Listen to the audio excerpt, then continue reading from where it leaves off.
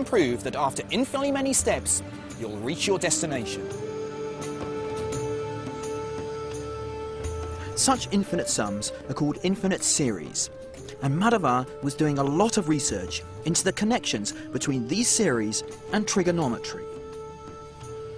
First, he realised that he could use the same principle of adding up infinitely many fractions to capture one of the most important numbers in mathematics, pi. Pi is the ratio of the circle's circumference to its diameter.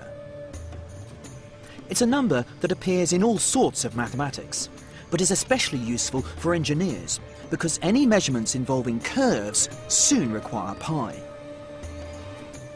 So for centuries, mathematicians searched for a precise value for pi.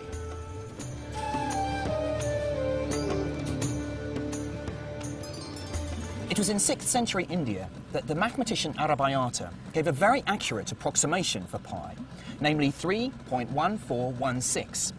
He went on to use this to make a measurement of the circumference of the Earth, and he got it as 24,835 miles, which amazingly is only 70 miles away from its true value. But it was in Kerala in the 15th century that Madhava realised he could use infinity to get an exact formula for pi. By successively adding and subtracting different fractions, Madhava could hone in on an exact formula for pi.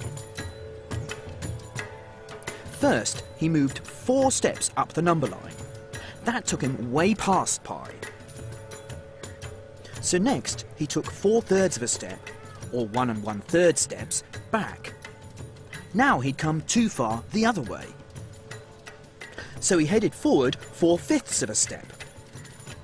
Each time he alternated between 4 divided by the next odd number. 4 sevenths, 4 ninths, 4 elevenths, and so on. He zigzagged up and down the number line, getting closer and closer to pi.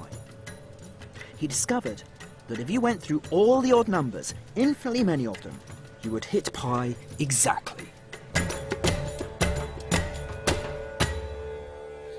I was taught at university that this formula for pi was discovered by the 17th century German mathematician Leibniz. But amazingly, it was actually discovered here in Kerala two centuries earlier by Madhava.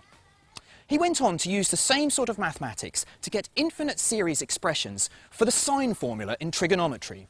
And the wonderful thing is that you can use these formulas now to calculate the sine of any angle to any degree of accuracy.